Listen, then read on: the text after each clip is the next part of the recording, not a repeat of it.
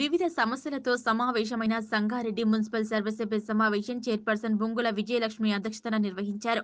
పట్టణంలో దాదాపు నెల రోజులు అవుతున్న పట్టణంలోని చెత్తకు శాశ్వత పరిష్కారం చూపలేదని వివిధ కాలనీల కౌన్సిలర్లు ఇన్ఛార్జ్ కమిషనర్ అదనపు లోకల్ బాడీ కలెక్టర్ రాజేషి దృష్టికి తీసుకెళ్ళారు.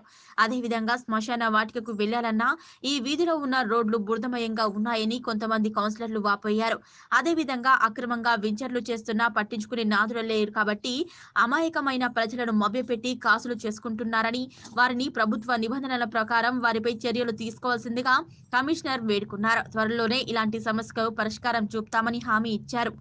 అనంతరం కోఆప్షన్ సభ్యునిగా ఎన్నికైన గోవర్ధన్ నాయక్ నియామక పత్రాన్ని అందజేశారు కమిషనర్. ఈ కార్యక్రమంలో మున్సిపల్ అధికారులతో పాటు ప్రజా ప్రతినిధులు పాల్గొన్నారు. పేమెంట్ లేదు ముఖ్యంగా. అవును. దీని గురించి మనం ఇంత కేటాయించి నెలకు ముప్పై ఐదు వేల రూపాయలు కేటాయించి అతను మనం తీసుకుంటే మన ప్రయోజనం ఏముంది మున్సిపాలిటీ? ఏది? ఇప్పుడు మేము థర్టీ త్రీలు ఇచ్చారు కదా తడి చెత్త పొడి చెత్త అనేది ఏది అని అవగాహన చేస్తాడని చెప్తున్నారు. సో ఆయనకి ఇప్పుడు ఒక అక్టోబర్ వరకు కాంట్రాక్ట్ ఉంది తర్వాత ఖతం అయిపోతుంది. సో వారి వరకు నేను ఇది వారికి తీసుకునే పది ఇప్పుడు కోంపల్లి కార్పొరేషన్లో పనిచేస్తున్నారు.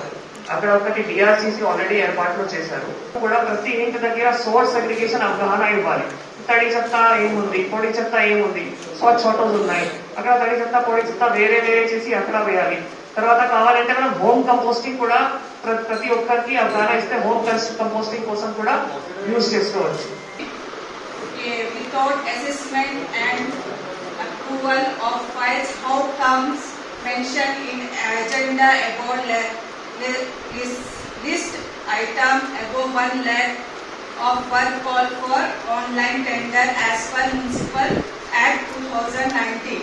लेकर ओनली पेमेंट कर तो अभी सिर्फ़ एडमिनिस्ट्रेटिव अप्रूवल है। इसके बाद डिस्ट्रिक्ट कलेक्टर का अप्रूवल होगा। उसके बाद ही पेमेंट हो सकता है उसके अलावा पेमेंट नहीं होगा।